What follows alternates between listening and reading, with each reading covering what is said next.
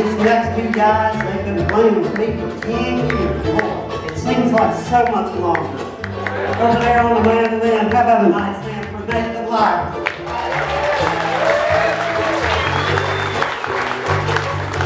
And on the guitar, he's gonna be singing some for you also. That's Josh Richards.